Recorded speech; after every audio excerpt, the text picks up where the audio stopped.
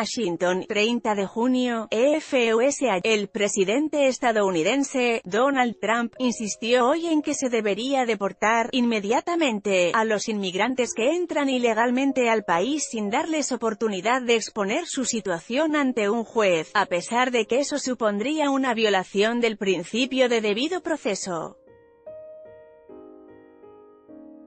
Foto, AFP Mientras decenas de miles de personas protestaban en 750 ciudades de Estados Unidos contra su política migratoria, Trump se enrocó en su posición y reiteró una polémica propuesta que lanzó la semana pasada para privar a los indocumentados del derecho de exponer ante un juez de inmigración sus reclamos de asilo.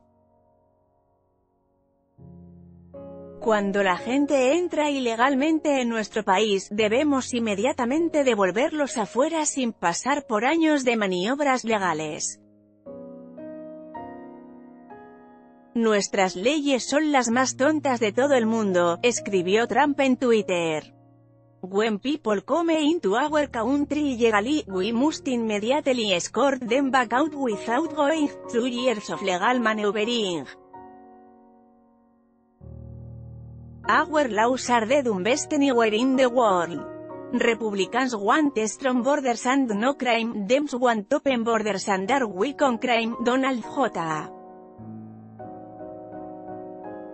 Trump, arroba Real Donald Trump 30 de junio de 2018 El presidente emitió ese tuit cuando muchas de las multitudinarias protestas en las principales ciudades del país ya habían terminado, pero no hizo comentarios sobre las marchas que pedían reunir a las familias de inmigrantes separadas desde abril y acabar con la criminalización de los indocumentados. Miles de los manifestantes se congregaron ante la Casa Blanca, pero Trump no pudo verlos desde allí porque está pasando el fin de semana en su club privado de Bedminster, Nueva Jersey. Foto, AFP Cumplir el reclamo de Trump sobre las deportaciones inmediatas implicaría cambiar el marco legal de EU, donde los inmigrantes detenidos debido a su estatus legal tienen derecho a comparecer ante un juez, que decide si deben ser expulsados o si pueden permanecer en el país porque tienen derecho a una petición de asilo. En 2004, el gobierno de George W. Bush estableció que pueden ser deportados de manera expresa aquellos inmigrantes que han llegado ilegalmente a EU. en los últimos 14 días y que, en el momento de su arresto, se encuentran a 160 kilómetros de la frontera. Foto, AFP Esa norma para las llamadas devoluciones en caliente, solo puede ser impuesta a mexicanos y canadienses, aunque al comienzo de su mandato, Trump trató sin éxito de extenderla a los centroamericanos que representan la mayoría de indocumentados que llegan al país por la frontera sur. En otros dos tweets a primera hora, Trump también defendió a la principal agencia encargada de las deportaciones en EU, el Servicio de Inmigración y Control de Aduanas, ICE, ante las peticiones de algunos legisladores demócratas de eliminarla.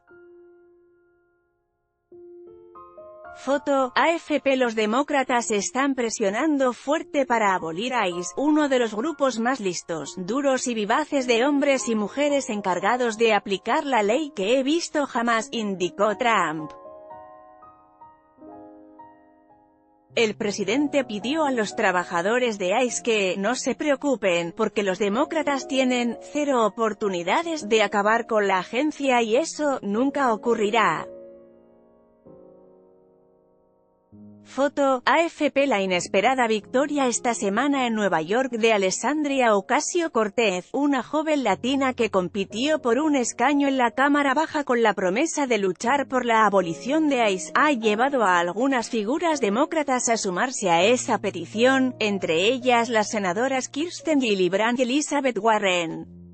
Esta nota incluye información de El debate en esta nota, polémica declaración Trump deportar inmigrantes Estados Unidos tweet.